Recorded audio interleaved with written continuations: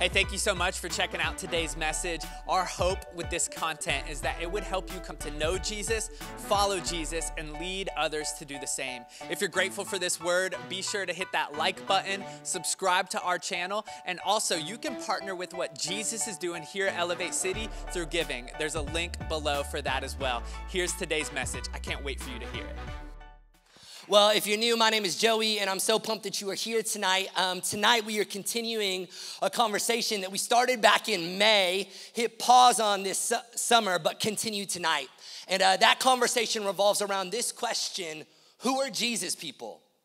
Who are Jesus people? Like, what does it mean to be a Jesus person? Why would I want to be a Jesus person? Does following Jesus make any real difference in my life. And if you weren't here for volume one of this series, I want to encourage you to go back and watch those messages on YouTube because there may be some plot holes in the story that Jesus wants to write in your life without those messages. But tonight we continue this journey, and uh, I want to hear you say, Jesus people.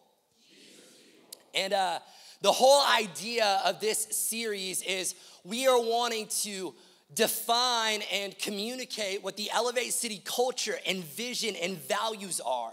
We're wanting to let you know what this place is about and what we want to see happen in your life when you step into being a part of this community of faith. This is like the dream that we have for this church. And so, if there was ever a series to invite your friends to, this is it. Because they're going to be able to get a crystal clear picture for the kind of people that we are and the story that Jesus is writing in the city of Sandy Springs. Amen? Um, tonight is like paramount. Tonight is central. It is foundational. It is utmost and foremost and every other synonym for important that I could find on rhymezone.com, okay? Like tonight may be the most important. Like, hey, look right at me. I'm begging you tonight, please don't go through the motions of church. Like, I'm begging you tonight, don't think that you've already got this figured out. Like, I want, I, I want you to know that this message has been messing with me as I've been preparing for it. It has been shaking things on my inside. It has been convicting me. And so I want for tonight to be a night where you don't just play the religious game of church and you don't just go through the motions and you don't think that you've got it all figured out, but that you really think deeply tonight. Like, I want you to do some soul searching tonight. Like, I want for you to dig down in like the deep parts of who you are and ask yourself some really hard, really difficult, really gut level questions. If you grew up in church, then we're gonna look at a story that's familiar, but I think that you need to see afresh I think you need to beg the Holy Spirit to give you a new picture for the story that we're gonna see tonight, to shake the cobwebs off of your faith and to do something where He sets something on fire in your soul. So, with that in mind, if you have your Bibles, and I hope that you do, Matthew chapter 22, Matthew chapter 22. let me give you some backstory on where we're going tonight. It's the last week of Jesus' life. In three days, Jesus will be dead. And so you've got to imagine that the contents of his conversation at this point in time are pretty important. I don't know if you've noticed or not, but people at the end of their lives don't tend to have a tendency of just shooting the breeze. And the same is true with Jesus. The conversation that we're getting ready to step into the middle of is actually the longest, most heated, recorded debate that Jesus experiences his entire life. A lot of people, when they look at this story, they look at it as if it is a snapshot, singular instance, but it's actually part of a three chapter long debate. You see, there are these two peoples, these two religious sects, the Pharisees and the Sadducees, and they, although they don't disagree with, although they disagree with each other, they're even more disturbed by Jesus. They are trying to find out what Jesus' code is, what Jesus is all about, what his teaching really communicates. And so they're caught up in this religious debate with Jesus. And although these two groups don't agree with each other, they dislike Jesus even more. And so opposing forces have joined together to try to trick Jesus, to try to trap Jesus. You see, it's happened over and over where they would go to debate with Jesus on a certain issue, but walk away in defeat. And so now they're sending in reinforcements. They get a scribe, a lawyer, an expert on the Jewish judicial system and law and way of life to go to Jesus in order to trap him, to ask Jesus the most foundational question of them all What is the greatest commandment? Translation, what is the most important part of life? And that's why we step into the scene tonight. Matthew chapter 2, 22, verse 34. We've already read it once tonight. Let's read it again. But when the Pharisees heard that he had silenced the Sadducees, they gathered together, and one of them, a lawyer, asked him a question to test him Teacher, which is the great commandment in the law? Jesus quotes Deuteronomy chapter 6. He says, You shall love the Lord your God all your heart and with all your soul and with all your mind. This is the great and first commandment, and a second is like it. He quotes Leviticus 19 You shall love your neighbor as yourself. On these two commandments depend all the law and the prophets. If you're taking notes tonight, I want for you to write at the top of your page what's most important. What's most important? I want for you to turn to your neighbor and say, What's important? If they say you, ask them on a date, okay? If they're like, You are important, be like, Well, you go on a date with me then, right? What's most important? This is like the question of life, isn't it? Like, what really matters in the end? What is worth in this short time that we're here on the planet, giving the limited amount of time and energy and resources to? Like, what is our purpose? Like, while there's breath in our lungs, how should we be spending our days? What's really important? I mean, we're all normal people fighting through this thing called life, right? We're fighting all of the struggles of every day. We're tr- fighting to try to climb the corporate ladder and we're fighting through life trying to find the one and we're fighting to try to find true fulfillment and we're fighting to raise kids and we're fighting Atlanta traffic. Amen.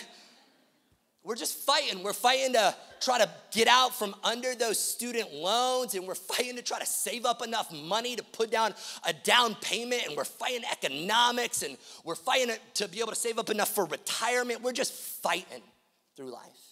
And some people would go, Well, Joey, that's, that's not what's important. Money is not what's important. Money is not important in this life. Have you ever noticed that it's always people who have some that say that? Like, you ain't ever heard a broke dude go, money, it doesn't matter, sir. Uh, I got a mortgage payment coming up, but I'm just living on love, right? It's always people who are rich who are like, money, it doesn't matter. And I'm like, okay, well, I would just like to try it and see for myself. So if I could just like hold that for a second, like, let me see if it's not important. We say things, we have this tendency, don't we?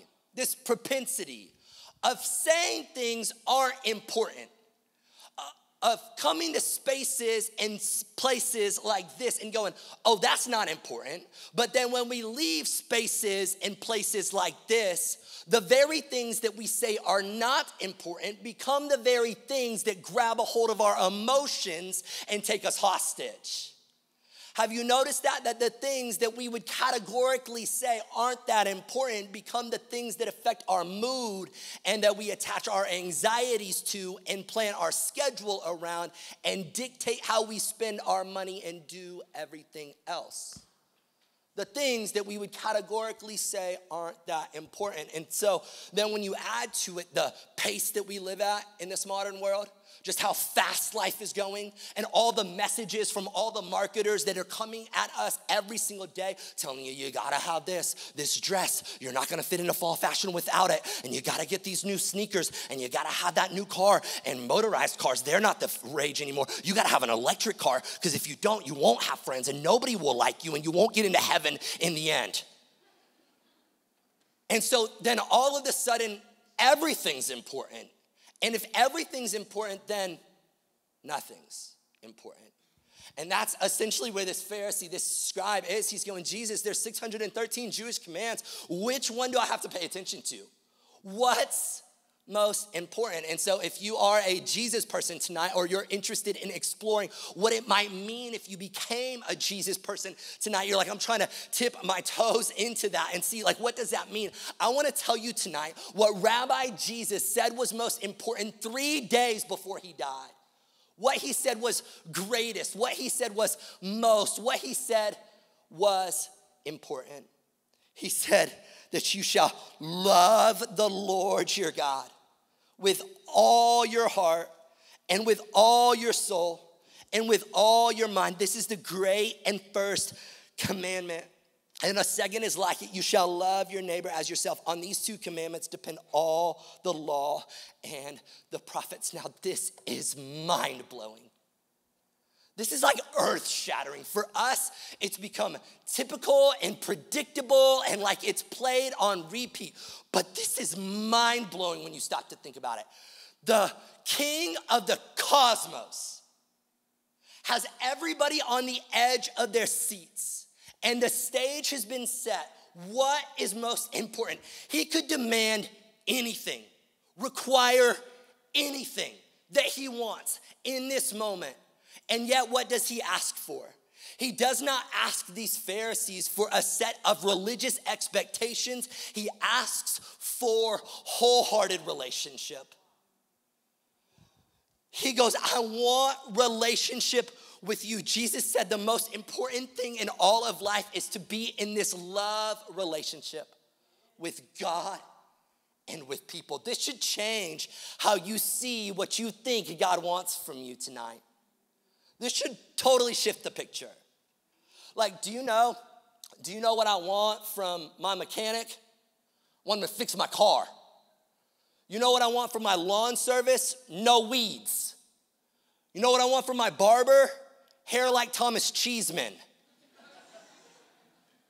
I want those people to perform a service for me. Do you know what God wants from people? Relationship relationship. He is not looking for these Pharisees to perform some religious expectations. He is not looking for them to dot I's and cross T's. He goes, I want relationship. Now, hold on. Because I do not want for you to have an image of God in your mind tonight where he is like a 13 year old girl on Instagram posting selfies of himself every day, just hoping that you'll love him and like him. That's not what God is like. He's not like, Will you please love me? God is not like Jerry Maguire, okay? If you know the movie, Jerry Maguire, Renee Zellweger, they're in the elevator and he makes the little hand motion, You complete me. You do not complete God. The opposite is actually the case.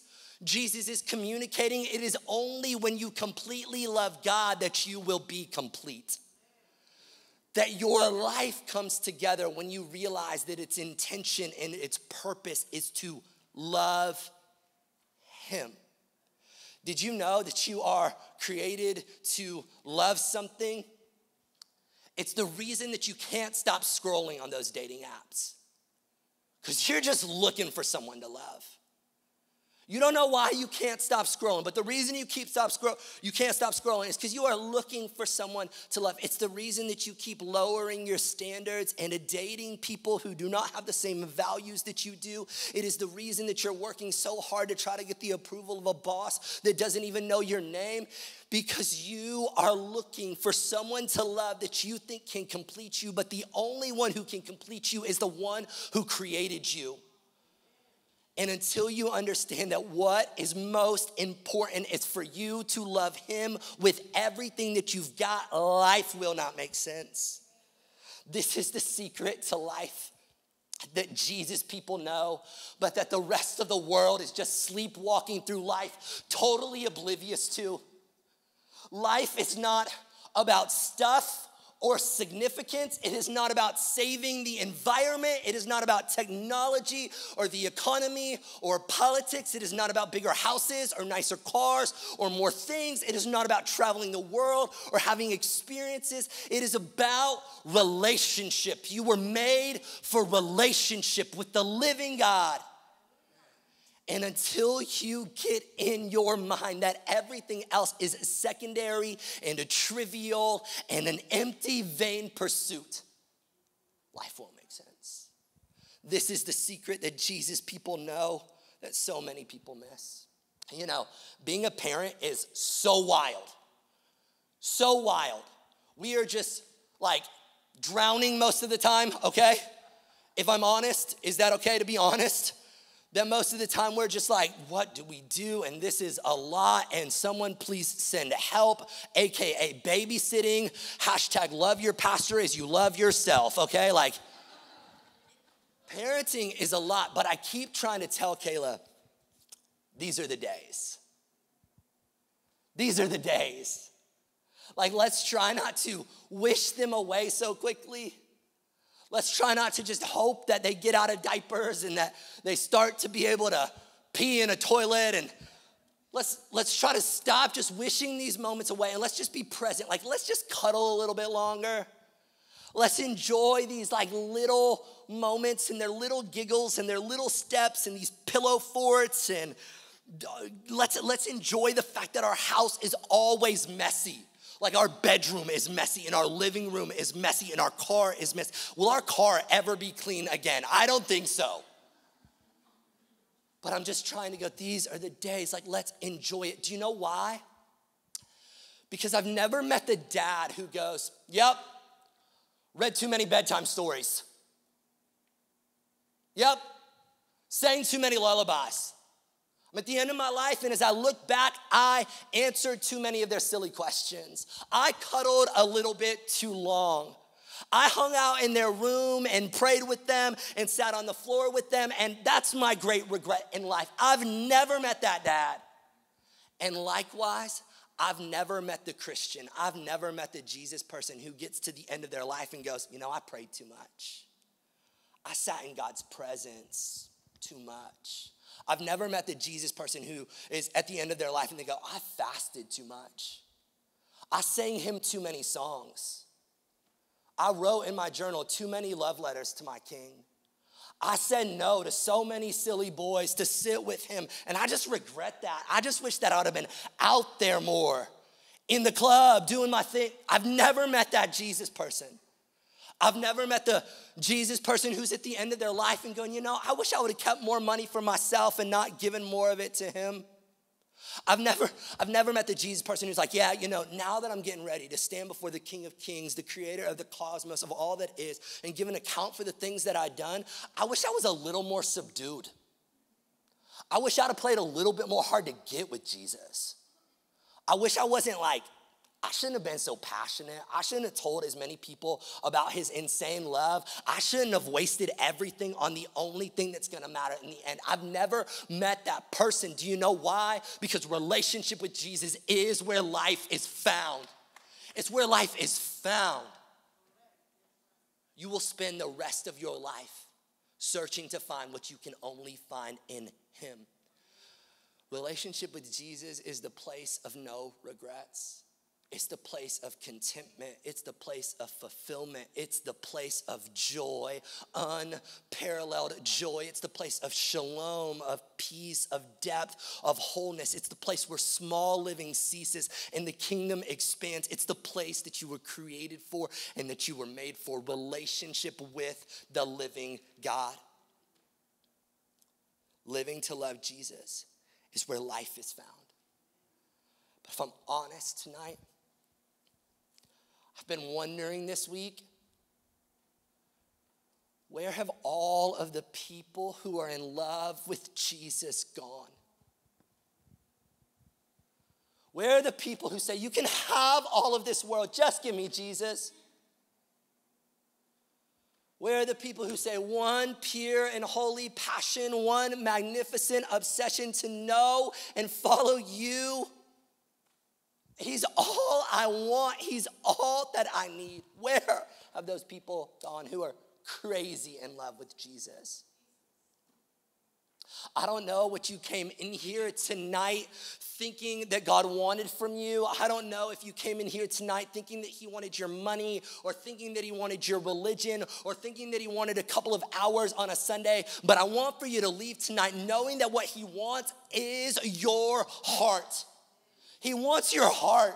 He's after your heart all over again, pursuing you, chasing you down, saying, I want your heart. And I want all of it. I want all of it. I want your heart. The greatest commandment, the most important thing in life is to know that what Jesus wants is your heart. Listen, some of us are on the verge of a spiritual heart attack tonight. Our arteries, they are so clogged with lust and ambition and busyness and secondary things that there's no place in our heart for King Jesus right now. And I'm begging that the Holy Spirit would do heart surgery tonight because it's not just our heart that is clogged, it's our minds that are cluttered. We got these minds that are so full of information, so full of these like half truths that are watering down, shallowing, and emptying the greatest commandment of its power and what my prayer is tonight is that the Holy Spirit would come and do heart surgery to give us a new heart and a new understanding of what the greatest commandment is actually about. And it's that God is after our hearts. Do you know what's so tragic?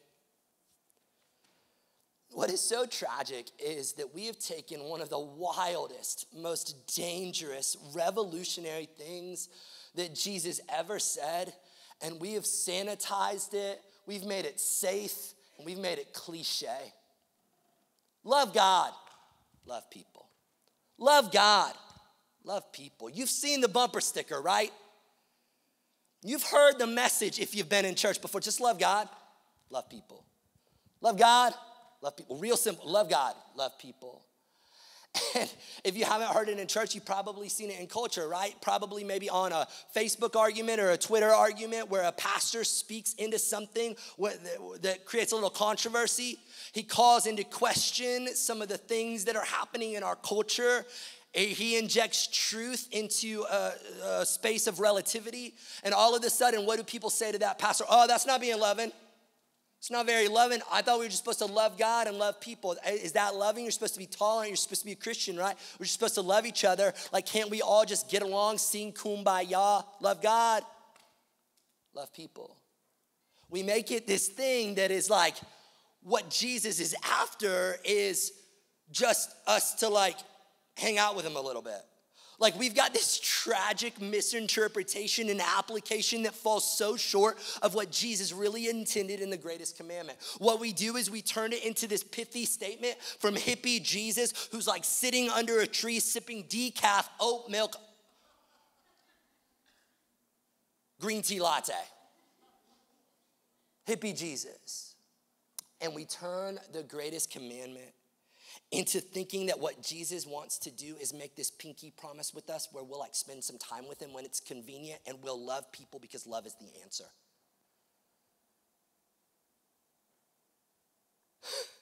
we really water it down into this bumper sticker that we slap on things so that we don't ever have to walk in obedience or really deal with our relationship with God. We take what Jesus tried to do and we just turn it into this weird rule because rules are easy to follow, relationship is really difficult. And Jesus is going, it is so much more than that. This is not hippie Jesus. This is not green tea Jesus. This is black coffee Jesus, okay? This is man on a mission Jesus. Second the record straight Jesus. Drop truth bombs Jesus. This is savage Jesus. Revolutionize everything Jesus. This statement is get himself killed Jesus. Like, I want to dig deep for a second. Are you okay with that?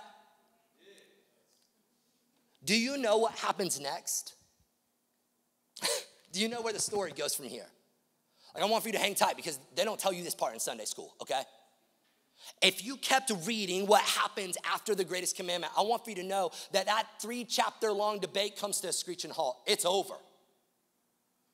Look at what Matthew chapter 22, 46 says. Jesus asks them one question, and then this is the response. And no one was able to answer him a word, nor from that day did anyone dare to ask him any more questions.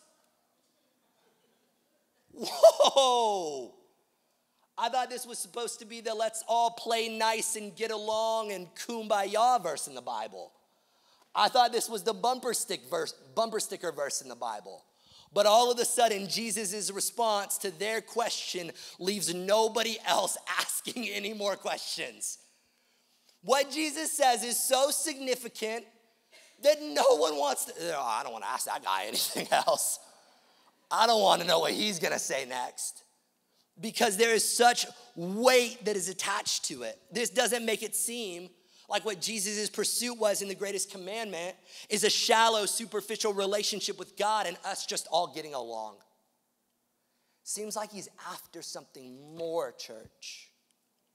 If you keep on reading, immediately following, Jesus goes on to monologue for an entire chapter about the difference between empty religion and the heartfelt relationship that he's after. For an entire chapter, he monologues. After that, he monologues about the final judgment and the end of the world. After that, if you keep on reading, the religious establishment starts their plot to kill Jesus in Matthew chapter 26. This is the spark that ignites the explosion of the crucifixion. From this point moving forward, it's false accusations, fake trials that leads to Jesus' death. Do you know why? Because the greatest commandment is dangerous is not safe, is not sanitized. It changes everything. You see, what the greatest commandment did, yes, it simplified the law, but it also exponentially raised the stakes. Think about this all of the law and all of the prophets hang on these two commands. All of the law and all of the prophets hang on these two commands. Jesus just simplified and codified it 613 Jewish commands. He reduced 613 that Moses reduced down to 10 to two. And he goes, There's two, two things. It's a buy one, get one deal, free kind of situation, okay? Like, it's really easy. Two questions on the test. You get two questions right, you get the whole test right. You make two mortgage payments, whole thing's paid off. Anyone in? Everyone's in, right? Yes. What is it Jesus. But so he simplified it, but he also elevated it. Because if you get those two things wrong, you get everything wrong with it. So, what Jesus did is he raised the stakes. You see, contrary to popular belief, Jesus does not minimize the law, he magnifies the fact that we can't keep it. We can't keep it. There are 613 Jewish laws. We couldn't keep them. There were 10 commandments. We couldn't keep them. There were two commandments. Guess what? We can't keep those either. And that's where the beauty of the gospel steps in. That because we are unable to love God the way He commands, and yet Jesus still loves us. It's the incredible beauty of the gospel. Do you know what we miss in our modern day reading of the greatest commandment? I think we may emphasize the wrong word. We emphasize the word love, and I'm not saying that love shouldn't be emphasized, but love isn't even the most repeated word in the greatest commandment. It's all. All. All. Not some, not a little, not what's convenient. All. Total, complete, all. Every little ounce, all your heart, all your mind, all your soul. If we included Mark's version, all your strengths, four times, all, not some or most, all, every inch, every ounce, every fiber, hopelessly, totally, completely loving God. Well, that sounds like a weight. that sounds pretty difficult. And then he defines it. He says, all your heart. Let me hear you say heart. Now, the heart would be like the sum of who you are. It's like your personality, the totality of your person is what your heart is. And so your heart would be evidenced by what you talk about most. You know what would be really weird? is if you and I were like friends and we hung out for like a year, and a year into our friendship, I like brought up my wife Kayla, and you went, Wait, you're married? That would be really weird, right? Because you talk about who you love in your heart, who is involved in your life. It just comes up, it comes up to the surface. And he's going, okay, do you love him with your heart? Because from the overflow of the mouth, the heart speaks. Do you love Jesus with your heart? How often are you talking about Jesus? Like in your conversations, in your relationships, in your friendships, at work, with your family, on social media, the content of your conversations, if people listen in, would they know who you care about in your heart? But your heart is not just who you are and what you speak about what you speak about. The biblical idea of heart is this idea of your will or your devotion or your commitment. Like love has feelings, but love is much more than a feeling. And according to the Bible, our command is not to like fall in love or to be in love, it's to walk in love. And walking is a choice, it's a commitment, it's a deliberation. And I'm sure that there are days when, okay, probably one day when Kayla woke up and didn't want to love me. All right, I'm sure it happened one time. But do you know what she did? She didn't go, oh, my feelings aren't telling me whether or not I love Joey. She's going, no, I'm going to choose to love Joey. And Jesus is going, I want for you to love me with all of your choices. I want for you to love me when you don't feel like it. I want for you to love me when you don't want to, when you wake up and you're groggy. I want for you to love me with all of your heart. But he doesn't just say all of your heart, he says all of your soul. All of your soul. And the biblical idea of soul would be the place of your emotions and your affections and your passion. He doesn't just want you to love him in a way that is like, arms crossed and subdued. Now, I'm not saying that passion always has to look like jumping or dancing or singing, but if you are more emotionally affected by the way that a 22 year old college student handles a ball than you are the living of God, there's a problem. If you get more excited when a grown man in tight pants crosses an imaginary line than you are what Jesus has done for you. I'm wondering, do you love him with all of your soul?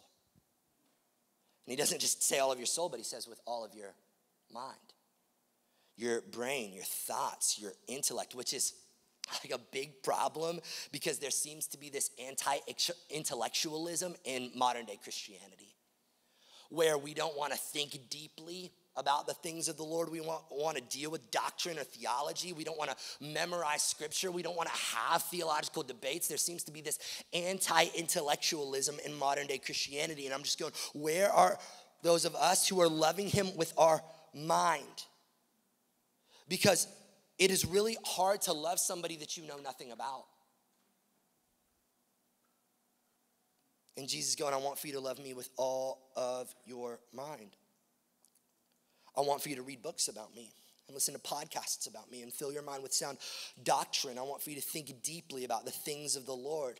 I want for you to love me with your mind. And I want for you to know, like, if you're ever wondering, like, how, how do I do that? How do I spend time with him? How do I sit in his presence? How do I figure that out? Like, go through Equip, talk to one of the pastors on staff because this is like what we live for to teach people how to read the Bible and know God through his word, to be able to engage their mind, and engage their heart, and engage their soul.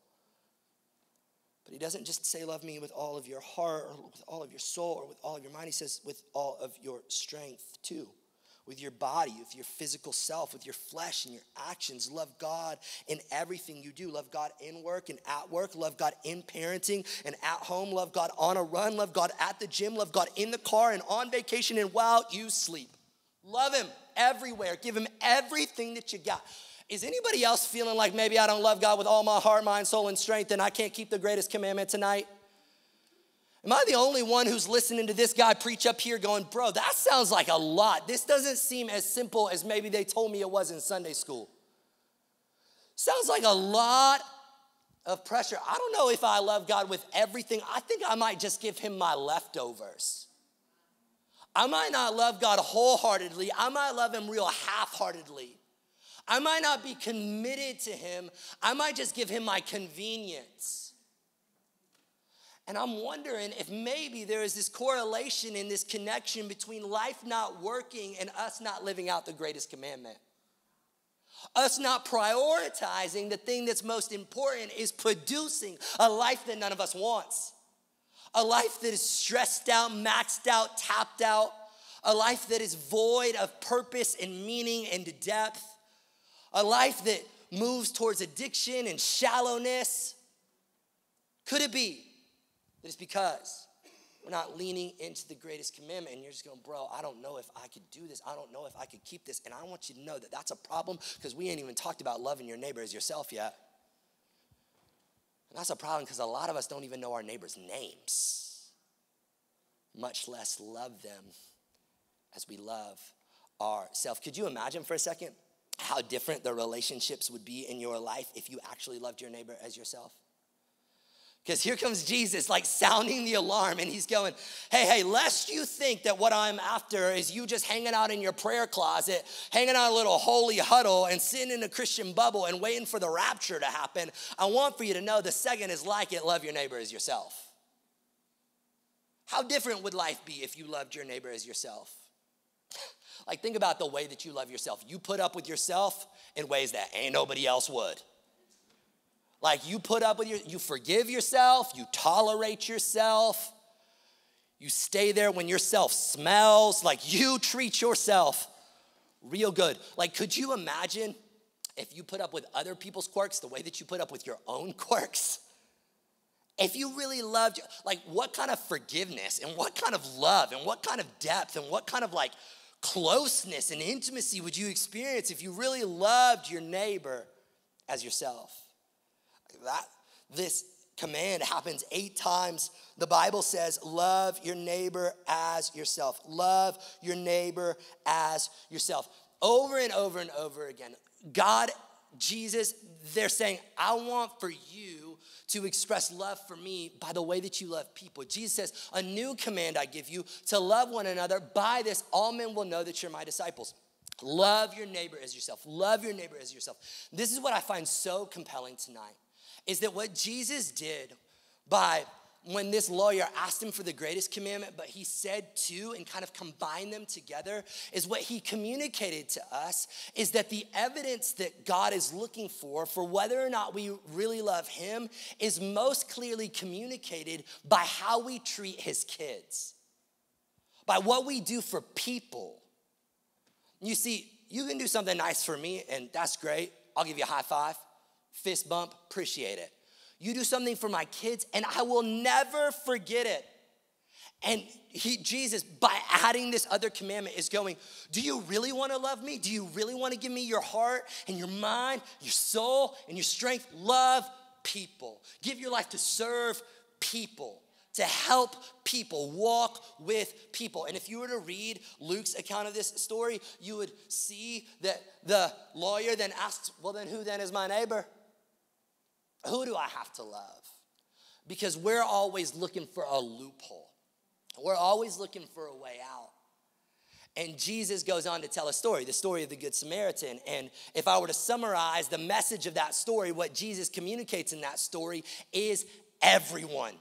You've got to love everyone. People who don't look like you, or talk like you, or live where you live, or vote like you, or think like you, or dress like you, or have the same color skin. You got to love everyone. And that's how I know if you love me. Because life without love, Jesus says, you're just a noisy gong. You're a clanging cymbal. You're just noise. You're just talk. You ever known somebody who's just all talk? All talk. This was the thing in high school, right? You'd be playing basketball and somebody would walk up and they'd have the shoes, they'd have the clothes, they'd have the jersey, and they'd be talking about basketball and what happened last night in the NBA. Hey, all right, so are we gonna play? Nah, no, no, no, man, I gotta pull a hammy. I gotta pull a hammy. Like, not today, not today, maybe next week. Like, they were just all talk, right? Just running their mouth. I love God. I love God. No, I really, really love God. I promise I love God. Like, I really do. I care about God more than I can put into words.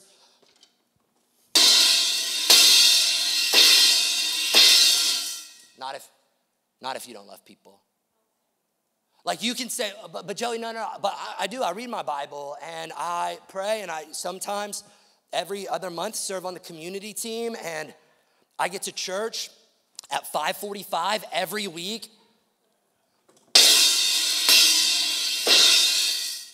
Do you love people? Do you love people? Like, do people have your heart? Because if people don't have your heart, God says that He doesn't have your heart. But you're just a loud gong, you're a clanging cymbal. Your love for Him is just talk. All right, so let's do it.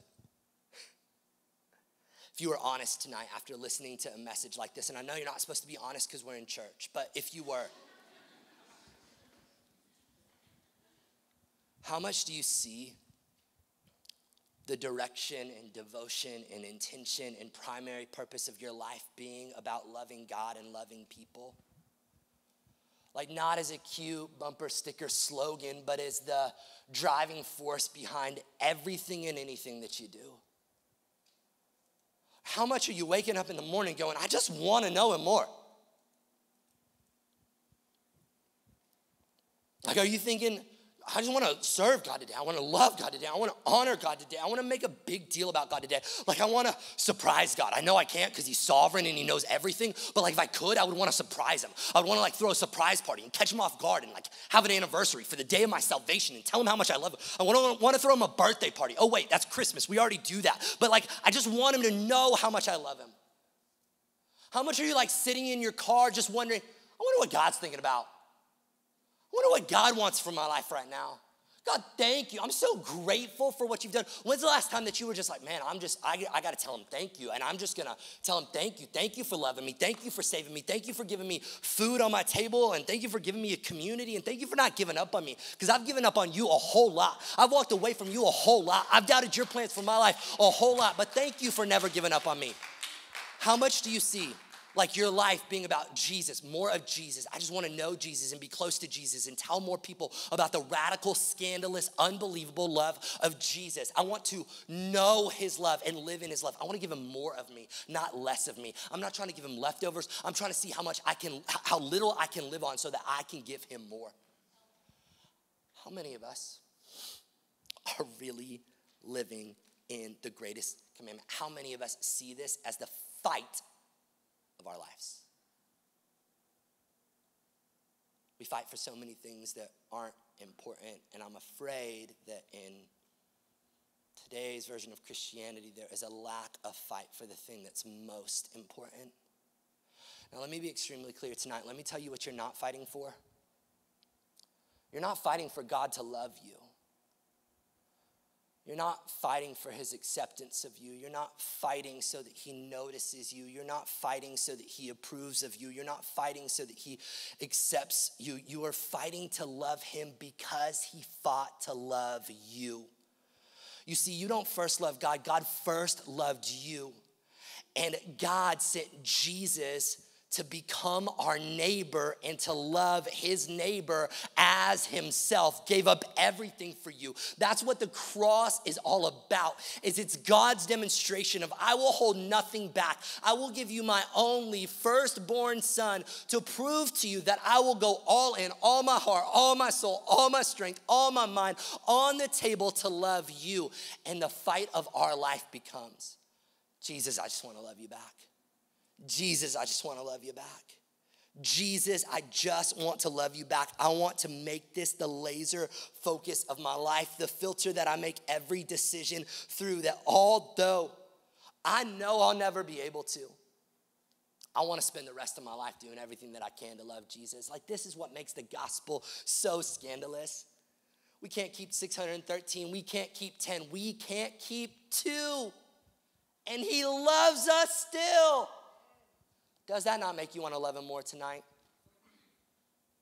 Does that not make you want to give him more tonight? The fact that he still hasn't given up on you. He's simplified it, he's reduced it, he's just put it right before you in crystal clarity, and we still can't do it, and he still loves you. I uh I really like bonfires. This is my segue to close if you can't tell.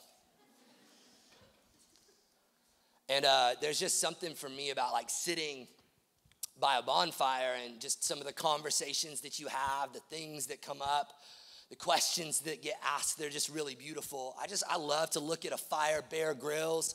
He says, fire is like nature's television. I can just look at it, just gaze at it. But you know, the thing about a fire is fires always go out. They always run out of something to burn on, they always run out of wood to burn up, and eventually the fire grows cold. In uh, Matthew chapter 24, just two chapters later from the greatest commandment, Jesus says, And because lawlessness will be increased, the love of many will grow cold. And I just wonder if your love for Jesus has grown cold tonight. Because I came here to try to start a bonfire. I came here to just try to do everything that I can with all the passion and sweat inside of me. To try to wake something up, to wake you up and tell you that He's after your heart, to rekindle the fire of your faith tonight to remind you of his insane love for you and to ask you if your life makes sense at all in light of it. I came here to just try to stir up your affections and your emotions and to ask yourself Am I fighting for relationship? Is there any fight in me for God? Because He sure fought for me when He sent His Son. And He sure fought for me when I turned away. And he sure fought for me when I gave up on church. And he sure fought for me when I wanted to throw in the towel and walk away and leave and call it quits because it's hard. And he sure fought for me when I doubted myself. And he sure fought for me when I stumbled in sin. And so, am I just gonna give in and call it quits, or am I gonna fight for the only thing that matters in the end? I'm fighting up here for your faith, church, because culture's fighting for it, it's fighting for your attention and it's fighting you to live small lives, to live for things that aren't gonna matter in the end. I just want for you to know that loving Jesus will. It will. You won't regret it. It won't be wasted. You won't be disappointed. You won't live a small life. You'll live a beautiful life. The life that you were created for. You know, if there was ever a Jesus person, I think many would agree that it'd be Billy Graham. Billy Graham famous evangelist, communicated the gospel to billions of people.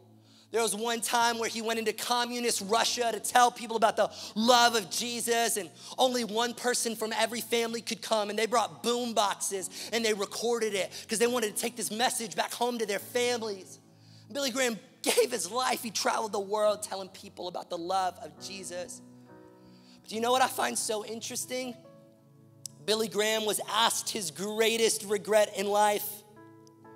And Billy Graham said this at the end of his life. He said, The thing that I regret the most is I wish I would have spent more time getting to know Jesus rather than just telling people about him.